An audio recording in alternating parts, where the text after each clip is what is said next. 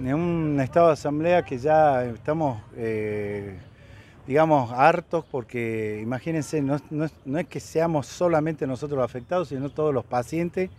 Hay que atender a media, el disgusto de la gente. Hay horarios que, los, eh, que no se trabajan porque estamos en asamblea permanente.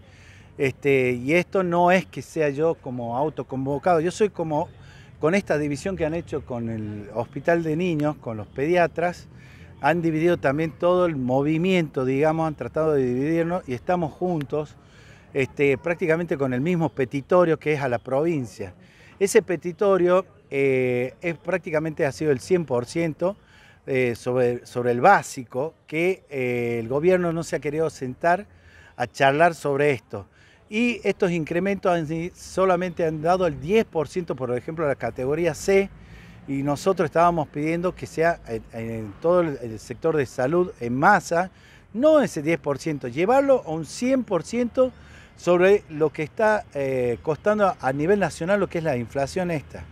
Este, esta inflación que nos está matando, que ya hace cinco meses estábamos pidiendo algo que era irrisorio, ahora imagínense pero recontra justa. Lamentablemente, eh, todo el sector de salud ha sido afectado. Y no sabemos por qué hay este disgusto de la Casa de Gobierno.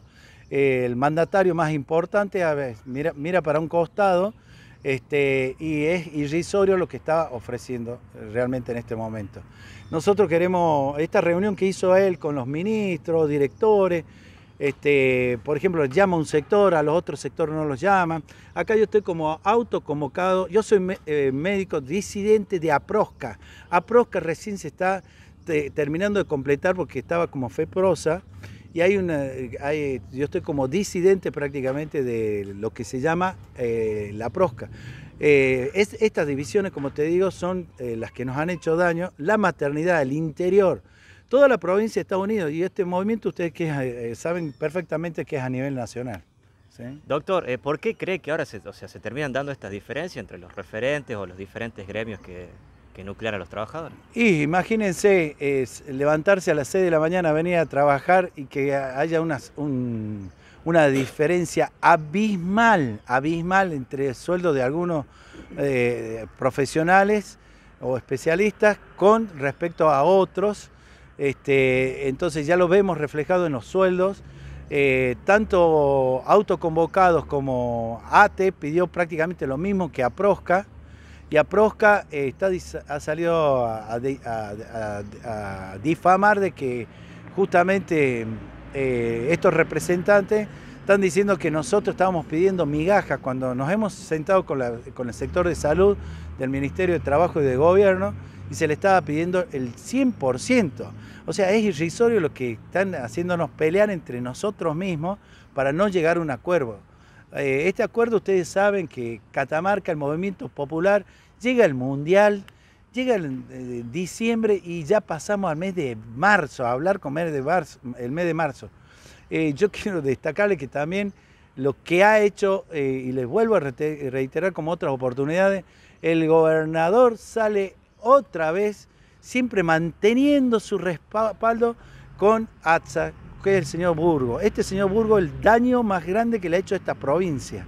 ¿Me entiende? Mantiene la parte privada y la parte pública a inconveniencia del gobernador.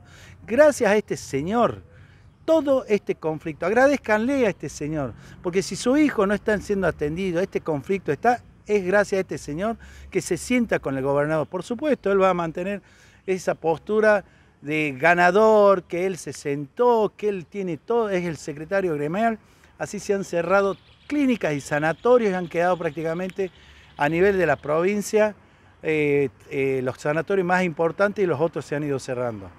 Doctor, ¿cómo va a continuar esta semana el plan de lucha? Mire, nosotros estamos eh, viendo qué va a pasar hoy a la noche en una reunión que se hace con APROSCA, se hace esta reunión con APROSCA y vamos a ver qué propuesta tiene el gobernador con respecto a esta reunión, como les, dije.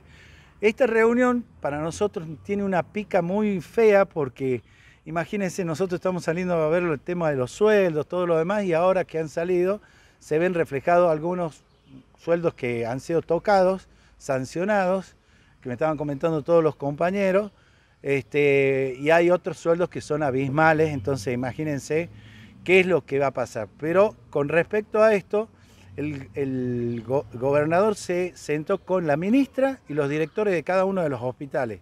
No sabemos si se sentó para tratar de calmar, mejorar, hacer una buena propuesta o si no para aumentar el tipo de sanciones si la gente salía a expresarse a la calle o con el tema de las manifestaciones. Como les repito, toda eh, salud está unida. Acá eh, nosotros estamos como autoconvocados, como ATE, como ATE Salud, que ATE Salud también ha hecho una propuesta y ha sido rechazada, una propuesta que ha sido del 40%, dicen, no, es, no era el 40%, era el 100% para tratar de negociar. Pero claro, eh, tratan de difamar, de hacer mal las cosas para que esto siga el, conflicto. Cosa que para la ciudadanía, para los pacientes, no queremos.